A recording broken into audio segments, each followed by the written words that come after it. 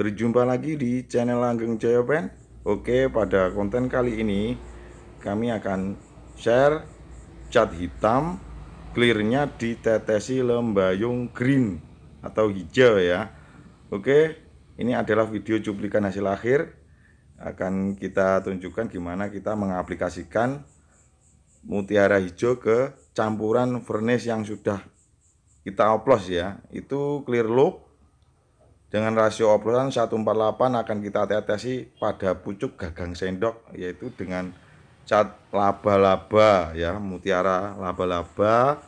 Kodenya seperti tertera di kaleng itu ya. Nah ini nanti hanya di pucuknya saja. Nanti walhasil dicampurkan clear yang sudah dioplos ya. Nah hanya sekian saja ya. Nah sangat sedikit sekali. Nah seperti ini ya coba dicermati. Nah tujuan eh, kami mencampurkan sedikit sekali pada oplosan furnace agar ya cat hitamnya tidak berubah di tempat teduh ya.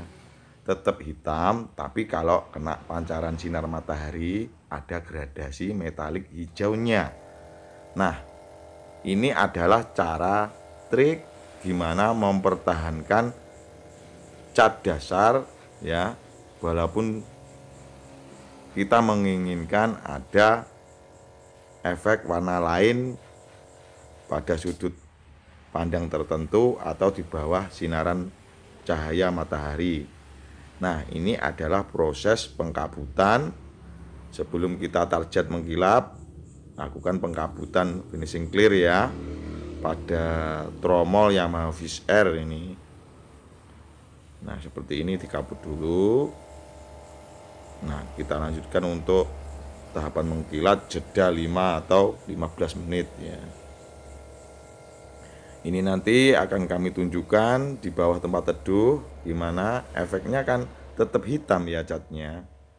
Namun bila mana di bawah terik matahari ada metalik gradasi hijau ya yang sangat istimewa. Nah, jangan lupa untuk kawan-kawan yang belum subscribe channel ini untuk konten berikutnya adalah eksperimen cat doff dicampur lembayung hijau ya. Apakah hasilnya akan bagus? Silahkan klik subscribe sekarang juga, klik tanda lonceng untuk mendapatkan notifikasi video kreatif kita berikutnya. Terima kasih.